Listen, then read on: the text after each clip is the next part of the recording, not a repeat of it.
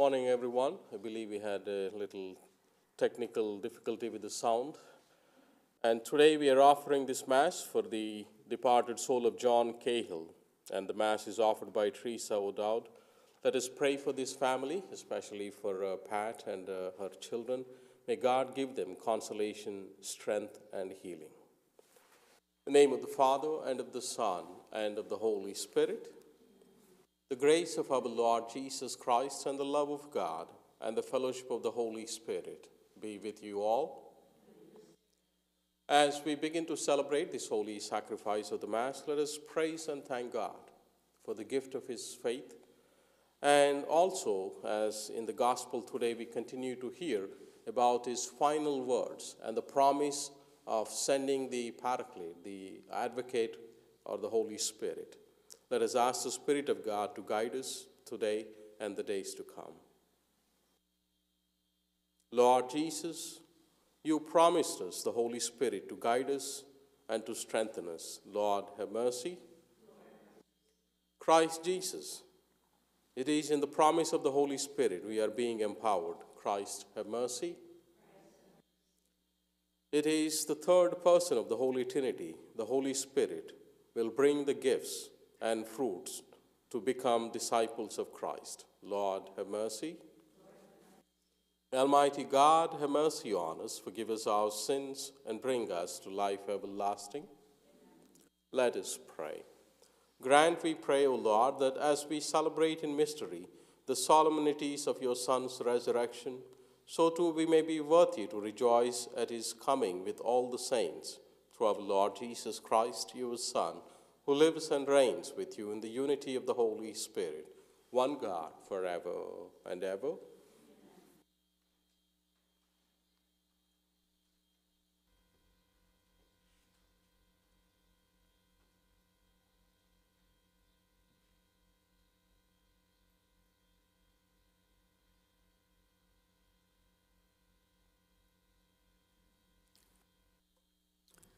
A reading from the Acts of the Apostles. After Paul, Paul's escorts had taken him to Athens, they came away with instructions for Silas and Timothy to join him as soon as possible. Then Paul stood up at the Areopagus and said, You Athenians, I see that in every respect you are very religious. For as I walked around looking carefully at your shrines, I even discovered an altar inscribed to an unknown God. What therefore you unknowingly worship, I proclaim to you. The God who made the world and all that is in it, the Lord of heaven and earth, does not dwell in sanctuaries made by human hands nor is he served by human hands because he needs anything. Rather, it is he who gives to everyone life and breath and everything. He made from one the whole human race to dwell on the entire surface of the earth, and he fixed the ordered seasons and the boundaries of their regions so that people might seek God and even perhaps grope for him and find him, though indeed he is not far from any one of us. For in him we live and move and have our being. And even some of your poets have said, For we too are his offspring. Since therefore we are the offspring of God, we ought not to think that the divinity is like an image fashioned from gold, silver, or stone by human art and imagination. God has overlooked the times of ignorance, but now he demands that all people everywhere repent because he has established a day on which he will judge the world with justice through a man he has appointed, and he has provided confirmation for all by raising him from the dead. When they heard about resurrection of the dead, some began to scoff, but others said, we should like to hear you on this some other time. And so Paul left them. But some did join him and became believers. Among them were Dionysius, a member of the court of the Areopagus, a woman named Damaris, and others with them. After this, he left Athens and went to Corinth. The word of the Lord. Responsorial Psalm, the response is Heaven and earth are full of your glory.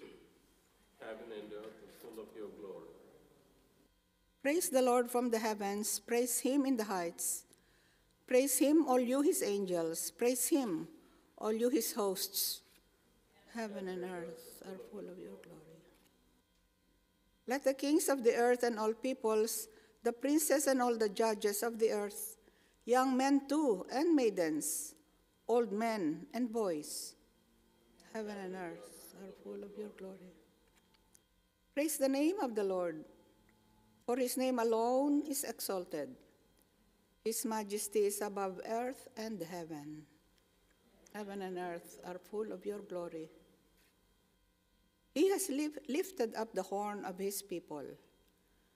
Be this his praise from all his faithful ones, from the children of Israel, the people close to him. Alleluia. Heaven and earth are full of your glory. Alleluia. Alleluia. Alleluia. I will ask the Father, and he will give you another advocate to be with you always. Alleluia. Alleluia. Hallelujah. Hallelujah.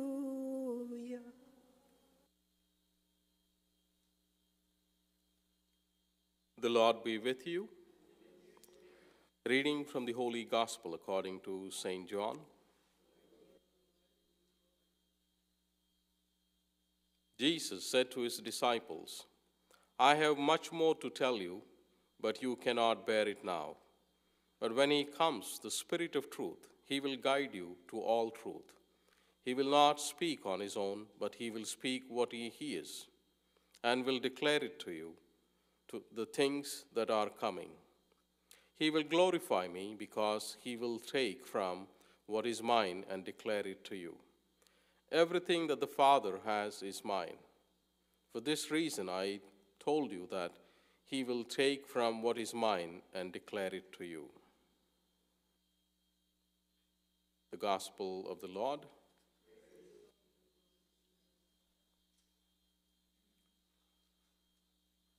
My dear friends, a couple of days ago, the church rejoiced celebrating the 100th birthday anniversary of Pope John Paul II.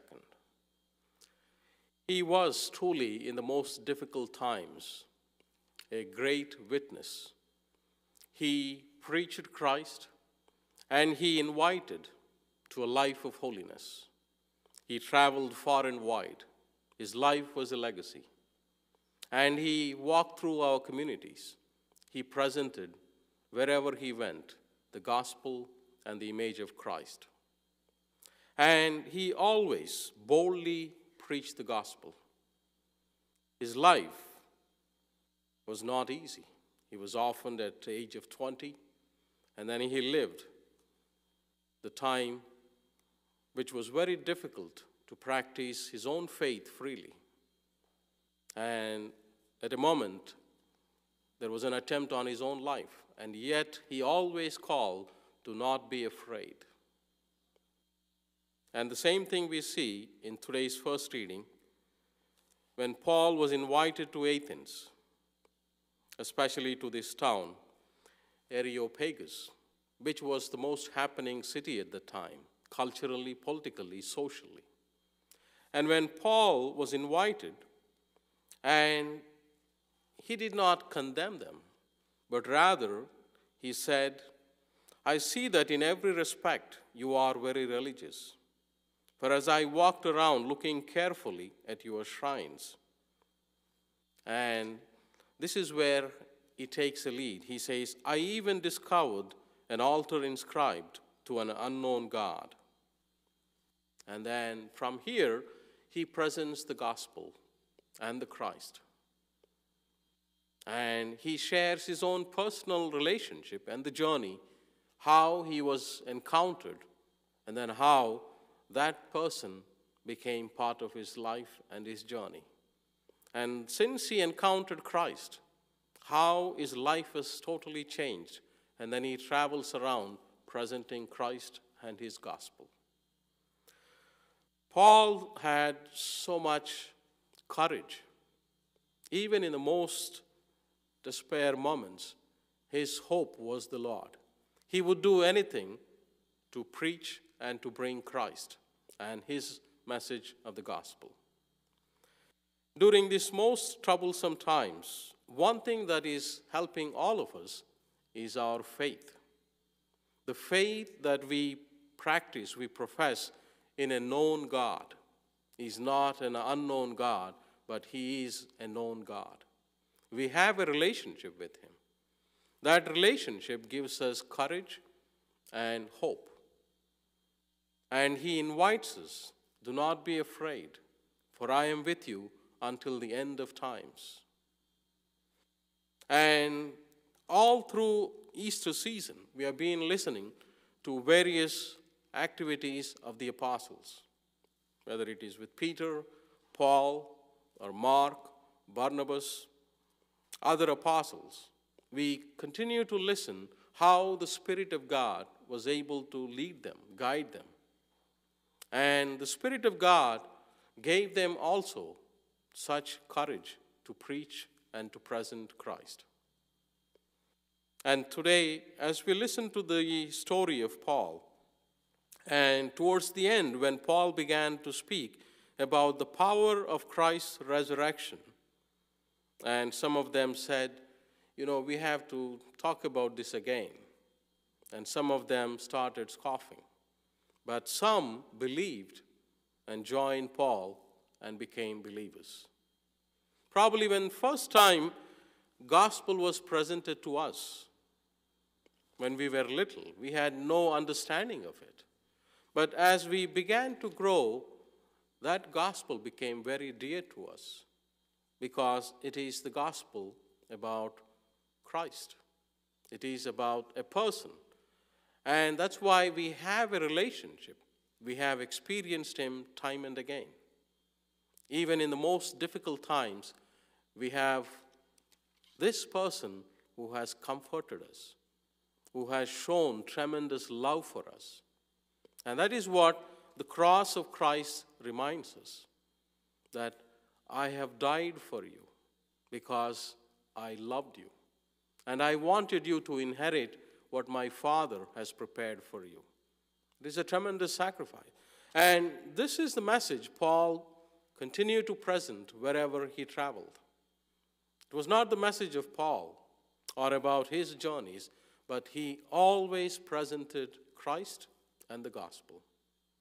And that's why during these uncertain times, the gospel always comes to aid us, fill us with hope, assurance, and invites us to believe in this gospel and the person who is presented to you.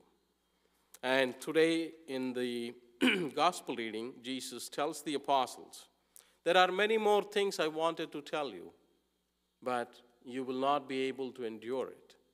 But I will send you the Holy Spirit, and the Spirit of God will tell you, and the Spirit of God will guide you, will empower you, and you will become my witnesses here on earth. Each one of us are given that gift and that grace to be living in the presence of the Spirit. So today, let us pray for ourselves who are given the gift of the gospel and the Holy Spirit, that what we reflect may be the works of the Spirit in the communities. May strength, may God strengthen us, and may God also give us inspiration. I also invite you to specially thank God for the gift of uh, St. John Paul II.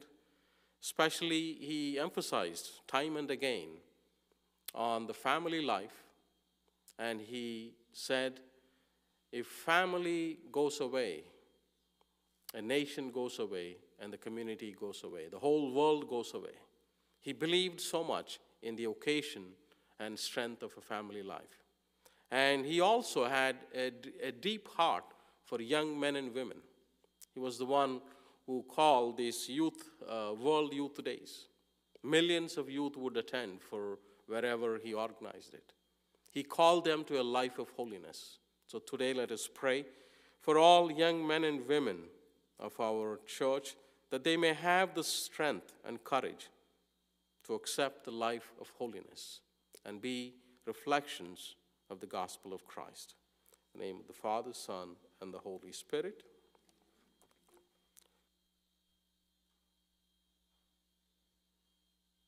Guided by the Spirit of truth, let us present our prayers and petitions. For those who lead the church in Christ's name, for the Spirit's gift of humility, we pray. For preachers and teachers among the faithful, for attention to guidance of the Spirit, we pray. For catechumens and all who seek deeper faith for hearts warmed by the Spirit's fire, we pray. For young people and all discerning their place in God's plan, for visions of the future promised by God, we pray. For the sick and for all struggling with more than they can bear, for the spirit of strength and healing, we pray. At this moment, let us pray for our own personal needs and intentions.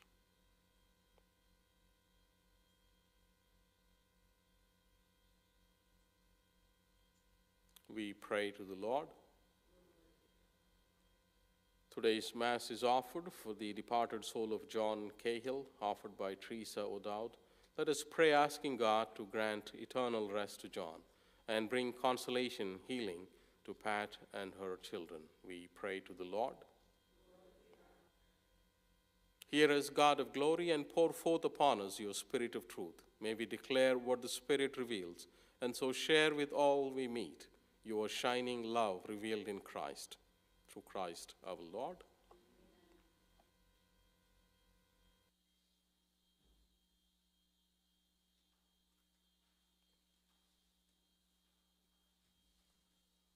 Blessed are you, Lord, God of all creation, for through your goodness we have this bread to offer, which earth is given and human hands so made. It will become for us the bread of life.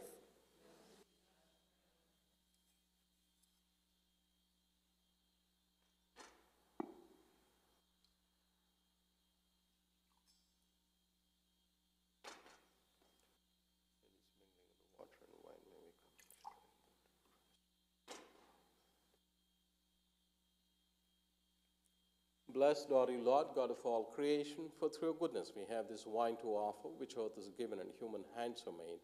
It will become for us our spiritual drink. Blessed be God forever. Lord God, we ask, be pleased with the sacrifice which we offer with humble and contrite heart.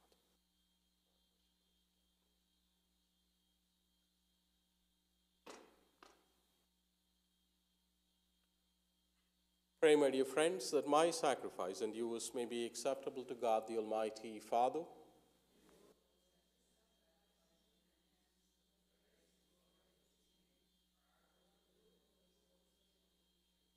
O God, who by the wonderful exchange effected in this sacrifice have made us partakers of the one supreme Godhead, grant, we pray, that as we have come to know your truth, we may make it ours by a worthy way of living through Christ our Lord.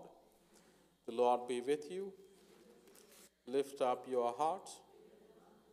Let us give thanks to the Lord our God. It is truly right and just our duty and our salvation, always and everywhere. But in this time above all, to laud you yet more gloriously when Christ our Passover has been sacrificed. By the oblation of his body, he brought the sacrifices of old to fulfillment in the reality of the cross, and by commending himself to you for our salvation, showed himself the priest, the altar, and the lamb of sacrifice. Therefore, overcome with paschal joy, every land, every people exults in your praise, and even the heavenly powers with the angelic hosts sing together the unending hymn of your glory as we acclaim Holy, holy, holy Lord. Heaven and earth are full of your glory. Hosanna in the highest. Blessed is he who comes in the name of the Lord. Hosanna in the highest. You are indeed holy, O Lord, the font of all holiness. Make holy, therefore, these gifts, we pray, by sending down your Spirit upon them, like the dewfall, so that they may become for us the body and the blood of our Lord Jesus Christ. At the time he was betrayed and entered willingly into his passion, he took bread and giving thanks, broke it, gave it to his disciples, saying, Take this, all of you, and eat of it, for this is my body, which will be given up for you.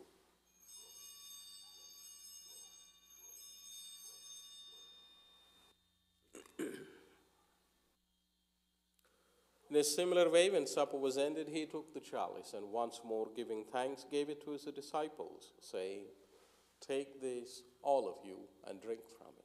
For this is the chalice of my blood, the blood of the new and eternal covenant, which will be poured out for you and for many for the forgiveness of sins. Do this in memory of me.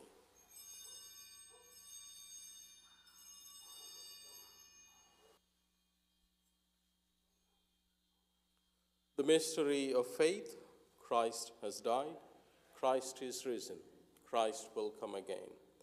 Therefore, as we celebrate the memorial of his death and resurrection, we offer you, Lord, the bread of life and the chalice of salvation, giving thanks that you have held us worthy to be in your presence and minister to you. Humbly we pray that partaking of the body and blood of Christ, we may be gathered into one by the Holy Spirit. Remember, Lord, your church spread throughout the world, and bring her to the fullness of charity, together with Francis, our Pope, and Timothy, our Bishop, and all the clergy, religious, and your people. Remember also our brothers and sisters who have fallen asleep. in the hope of the resurrection, and all who have died in your mercy. Welcome them into the light of your face. Have mercy on us all, we pray, that with the Blessed Virgin Mary, Mother of God, with the Blessed Joseph, a spouse, with the blessed apostles and all the saints who have pleased you throughout the ages, we may merit to be co heirs to eternal life, and may praise and glorify you through your Son, Jesus Christ, our Lord.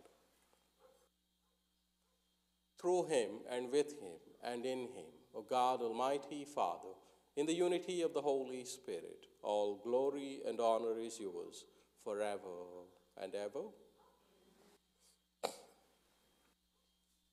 As one God's family, as one community, pray the words Christ gave us. Our Father, who art in heaven, hallowed be thy name. Thy kingdom come, thy will be done, on earth as it is in heaven. Give us this day our daily bread, and forgive us our trespasses, as we forgive those who trespass against us. And lead us not into temptation, but deliver us from evil. Deliver us, Lord, we pray, from every evil. Graciously grant peace in our days, that by the help of your mercy we may be always free from sin and safe from all distress, as we await the blessed hope and the coming of our Savior, Jesus Christ. For the kingdom, the power, and the glory are yours, now and forever. Lord Jesus Christ, who said to your apostles, Peace I leave you, my peace I give you. Look not on our sins, but on the faith of your church, and graciously grant her peace and unity in accordance with your will, who live and reign forever and ever. The peace of the Lord be with you always. Let's offer each other the sign of Christ's peace. Peace be with you, peace be with you, peace be with you.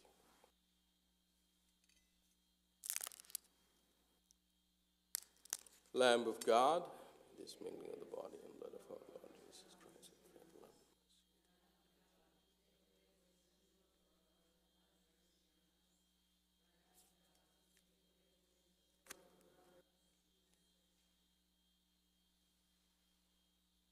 This is Jesus, the Lamb of God. Behold him who takes away the sins of the world. Blessed are those called to the supper of the Lamb.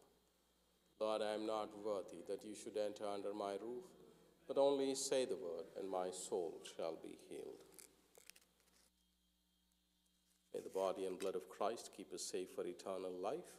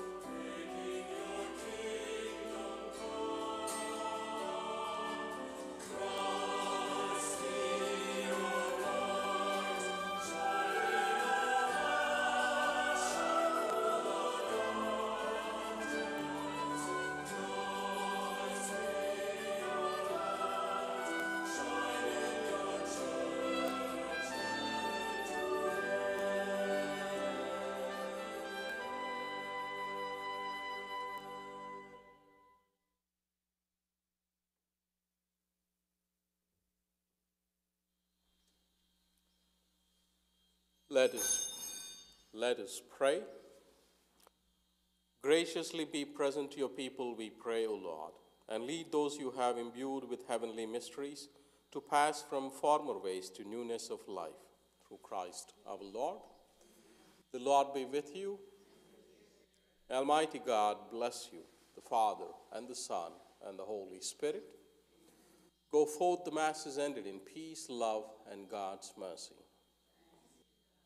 Just a gentle reminder tomorrow we will be celebrating the solemnity of the ascension of our Lord. So please, if you have a moment, take part in the Mass and receive the blessings. You all have a blessed day.